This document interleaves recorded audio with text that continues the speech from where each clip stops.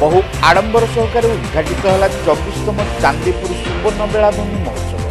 ଅତିଥି କହିଲେ ଚାନ୍ଦିପୁର ବେଳାଭୂମିକୁ ନୂତନ ପରିଚିତି ପ୍ରଦାନରେ ଏହି ମହୋତ୍ସବର ଭୂମିକା ବେଶ୍ ଗୁରୁତ୍ୱପୂର୍ଣ୍ଣ। ଓଡ଼ିଶା ପର୍ଯ୍ୟଟନ ବିଭାଗ ଓ କୋଲକାତା ସ୍ଥିତ ପୂର୍ବାଞ୍ଚଳ ଜୋନ୍ ସାଂସ୍କୃତିକ କେନ୍ଦ୍ର ସହଯୋଗରେ ବାଲେଶ୍ୱର ଜିଲ୍ଲା ପ୍ରଶାସନ ଓ ଚାନ୍ଦିପୁର ବେଳାଭୂମି ମହୋତ୍ସବ କମିଟି ମିଳିତ ଆନୁକୂଲ୍ୟରେ ବହୁ ଆଡମ୍ବର ମଧ୍ୟରେ ଆରମ୍ଭ ହୋଇଛି ଚବିଶତମ ଚାନ୍ଦିପୁର ସୁବର୍ଣ୍ଣ ବେଳାଭୂମି ମହୋତ୍ସବ।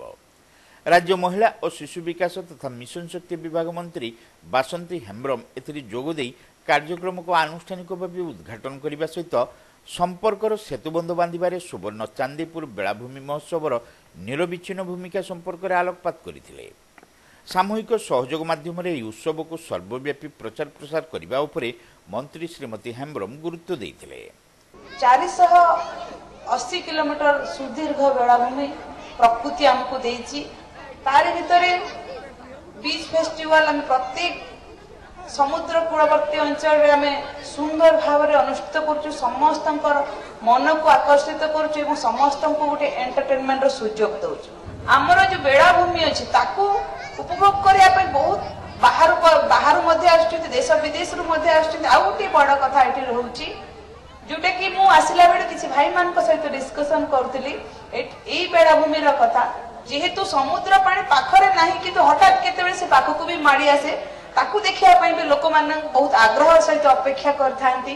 ଏବଂ ସେଇ ସମୁଦ୍ର ପାଣିର ଢେଉର ଯୋଉ ଲୁଚକାଳି ଖେଳ ସମସ୍ତଙ୍କ ମନକୁ ମୁଗ୍ଧ କରିଥାଏ ଏବଂ ସମସ୍ତଙ୍କୁ ଆକର୍ଷିତ କରିକି ନେଇ ଆସିଥାଏ ଏଇ ଚାନ୍ଦିପୁରକୁ ଏଇ ବିଚ୍ ଫେଷ୍ଟିଭାଲ ଚବିଶ ବର୍ଷରେ ପଦାର୍ପଣ କରିଛି ନିଶ୍ଚିତ ଭାବରେ ଆପଣମାନଙ୍କ ଭଳିଆ ଆପଣମାନଙ୍କର ସହଯୋଗରେ ଆଜି କଳା ତ ବଞ୍ଚିକି ରହିଛି ଏବଂ କଳାକୁ ଆପଣମାନେ ସମସ୍ତଙ୍କ ସାମ୍ନାରେ ବାଲେଶ୍ୱର ସଦର ବିଧାୟକ ସ୍ୱରୂପ କୁମାର ଦାସ ଏଥିରେ ସମ୍ମାନିତ ଅତିଥି ଭାବେ ଯୋଗଦେଇ ଚାନ୍ଦିପୁର ବେଳାଭୂମି ମହୋତ୍ସବ ଦ୍ୱାରା ବାଲେଶ୍ୱର ତଥା ଓଡ଼ିଶାର କଳା ଓ ସଂସ୍କୃତି ବିଶ୍ୱ ଦରବାରରେ ପ୍ରସିଦ୍ଧି ଲାଭ କରିପାରିଛି ବୋଲି ମତ ପ୍ରକାଶ କରିଥିଲେ।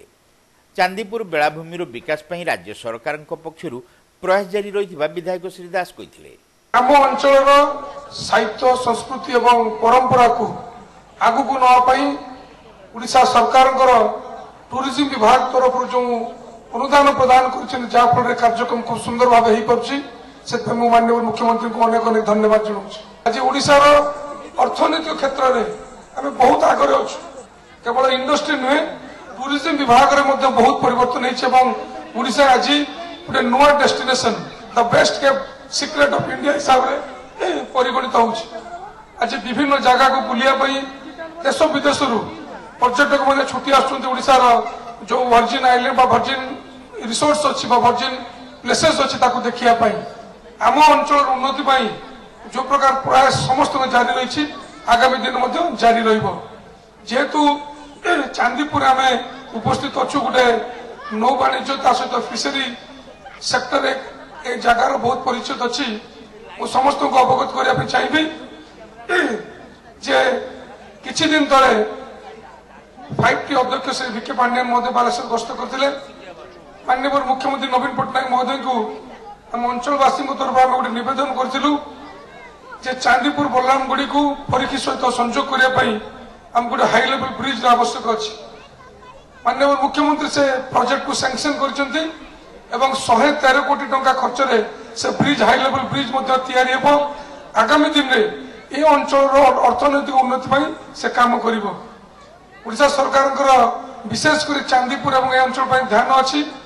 ଆମେ ଚାହୁଁଛୁ ଗୋଟେ ଫିସରୀ ଇକୋନୋମିକ କରିଡର ଏ ଅଞ୍ଚଳରେ କରିବା ପାଇଁ ଯାହାଦ୍ୱାରା କି ଆମ ଅଞ୍ଚଳ ଯୋଉମାନେ ମାଛ ବ୍ୟବସାୟ କରୁଛନ୍ତି ଟୁରିଜିମ କରୁଛନ୍ତି ସେ ତାର ଡେଭଲପମେଣ୍ଟ ହେଇପାରିବ। ପୂର୍ବତନ ବିଧାୟକ ତଥା ବେଳାଭୂମି ମହୋତ୍ସବ କମିଟିର ସଭାପତି ଜୀବନ ପ୍ରଦୀପ ଦାସ ଏଥିରେ ସଭାପତିତ୍ୱ କରିବା ସହିତ ଉତ୍ସବର ପୃଷ୍ଠଭୂମି ଓ କମିଟିର କାର୍ଯ୍ୟଧାରା ସମ୍ପର୍କରେ ଆଲୋଚନା କରିଥିଲେ। ମହୋତ୍ସବ କମିଟିର ସାଧାରଣ ସମ୍ପାଦକ ବରିଷ୍ଠ ଆଇନଜୀବୀ ହରେକୃଷ୍ଣ ଦାସ ଏଥିରେ ସମ୍ପାଦକୀୟ ବିବରଣୀ ପାଠ କରିଥିଲେ।